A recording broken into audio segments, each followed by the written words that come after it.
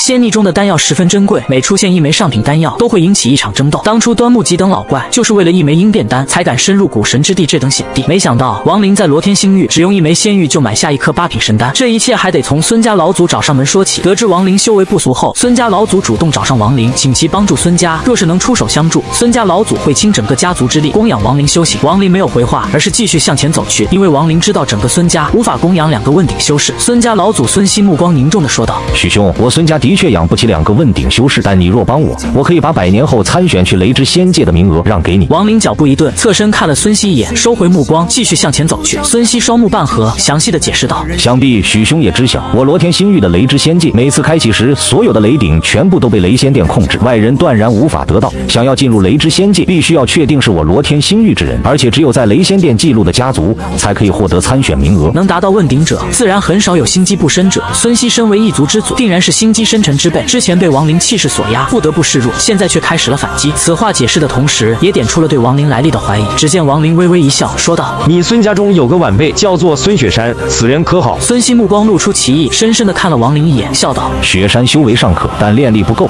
许兄对他的救命之恩，孙某感激。”二人相视一笑，彼此收回目光。孙熙内心对于王林的忌惮更浓，内心暗叹：此人来历神秘，更是心机深沉。之前孙启明试探，便被此人一眼看破。我刚才点出其身份的疑惑，又被此人以雪山化解。他本已经换了样子，即便是故作不知，我也只是怀疑而无法深究。但此人却是自己承认，这就有些诡异了。显然是心知肚明，不怕我知晓。偏偏此人修为又高，定然远在我之上。这等人物，我孙家要结交，不能得罪。东林星，此人莫非真的从东林星而来不成？沉默片刻后，孙熙继续请求王林出手相助，但王林并不了解这些家族的纠葛，声称要考虑一段时间。孙熙暗叹，不再追问，而是向王林介绍起冉云星的一些风土趣事。二人谈笑间，来到了城东宝和楼。今日正是此城宝和楼拍卖卖之期，附近的修士来了很多，使得宝和楼外人声鼎沸。十多个宝和楼的伙计在外负责接待，并把来者根据令牌的等级安排进入。孙熙与王林二人刚一临近，只见在宝和楼外一直亲自等候的孙启明连忙上前，眼中露出极为恭敬之色，躬身道：“第三代族人孙启明参见老祖，参见许前辈。”宝和楼分四层，这第四层便是一个个包间。左侧第一个包间内，孙熙与王林坐下，此处位置极佳，一眼就可以看到二楼大厅中的拍卖。孙启明恭敬地站在一旁，等待孙熙的吩咐。进入这里的一刻，王林忽然有种很奇怪的感觉，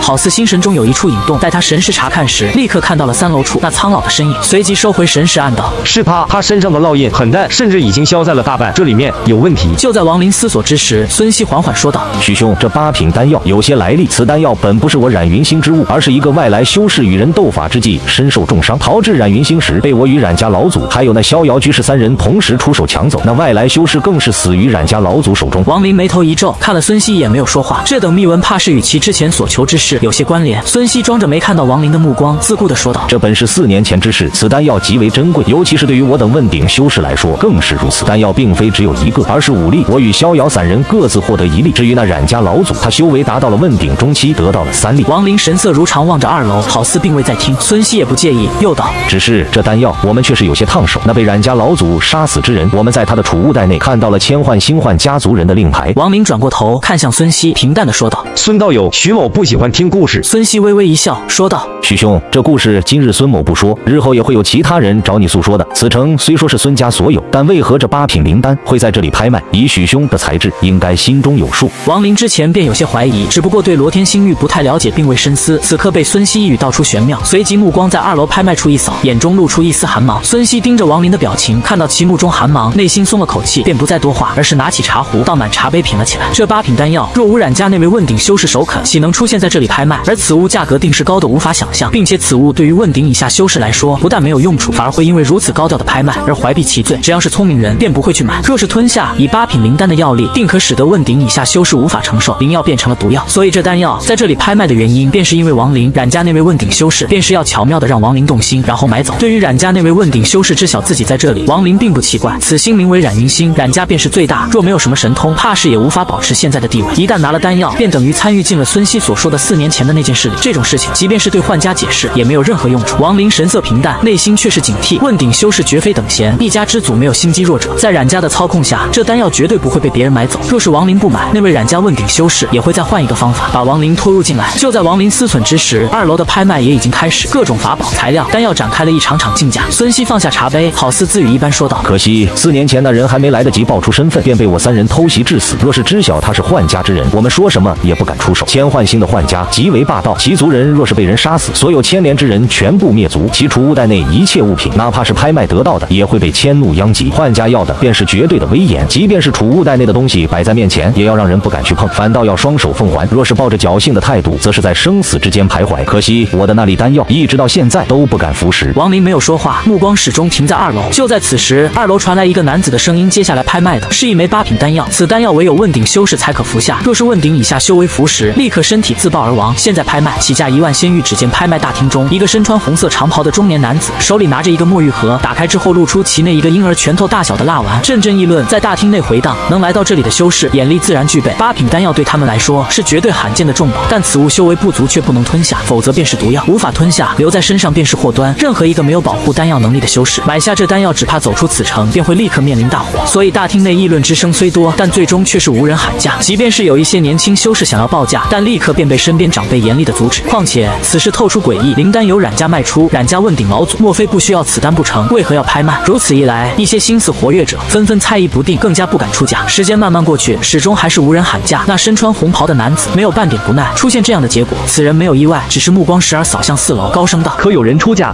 若是无人出价，这八品丹药将会存放在我宝盒楼内。”王林目光在那蜡丸上看了很久，眼中露出寒芒，平淡的说道：“一枚仙玉。”声音虽说平淡，却清晰落入了二楼内每一个修士的耳中，顿时阵阵议论哗然而起。一枚仙玉，这是谁啊？莫非疯了不成？底下都是一万仙玉，此人居然说一枚，真是可笑。宝盒楼内，怕是还从未出现如此事情。宝盒楼背后有冉家，此人如此行为，定会惹下大祸。这分明就是给宝盒楼难堪嘛！听声音应该是四楼传出，能在四楼者绝非等闲。不过如此行事，却是得罪了冉家。那身穿红衣的男子也是一怔，抬头看向四楼。他本不是此城宝盒楼之人，而是从冉家本族而来，目的便是把这丹药卖给一个特定之人。但此刻等待的特定之人虽说来了，也出价了，但这价格却是让他有些无法接受。甚至若是真的接受了这个价格，那就等于是告诉了所有人，这出售丹药的事情存在了很大的端倪，冉家的名誉将会被冲击。而且最重要的是，若是卖给了此人，那么就等于告诉所有人，冉家怕了。一粒八品灵丹居然卖出一枚仙玉，这种事情绝对无人相信。但若是真真正正发生了，则会引起一系列无法想象的后患。但若是不卖也不行，老祖已经言明，这丹药在这里拍卖，必须要卖出去。四楼包间内，孙熙放在嘴边的茶杯一顿，随即眼中露出古怪之色，叹道：“许兄佩服佩服。”一旁的孙启明也是神态凝固，半晌说不出话来。不只是他们，二楼大厅中的卢姓青年也睁大了眼睛，露出不可思议，因为那声音他有些熟悉，正是多日前那被他阻止在外的青年。此刻听闻对方喊出一枚仙玉，卢姓青年喃喃自语道：“此人疯了。”然而没有人注意到，在三楼一处单间内，一个沧桑的老者在听到这个声音后，瞬间心神俱震，猛地抬头看向四楼，眼中露出奇异之芒，喃喃说道：“这不是他的声音，但为何我心神中却是颤动？